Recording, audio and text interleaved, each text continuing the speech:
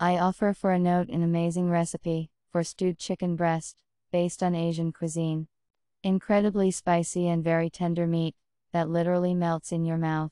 The set of ingredients is very modest, but the dish turns out fantastic. The first step is to wash, dry, and cut the breast into small cubes. Put it in a deep bowl. To prepare the marinade, pour vegetable oil, soy sauce, adding a little pepper to taste.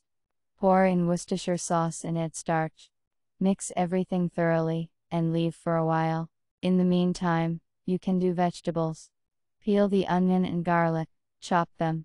Cut the peeled ginger root into thin strips, and chop the green onion feathers a little. In a saucepan, heat a small amount of oil.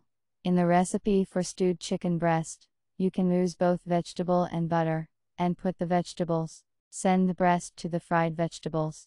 Add a little salt and pepper if desired. Gently stir and fry for 2 3 minutes.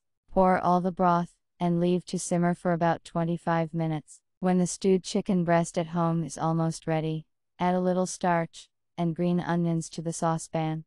Mix gently and you can serve it to the table.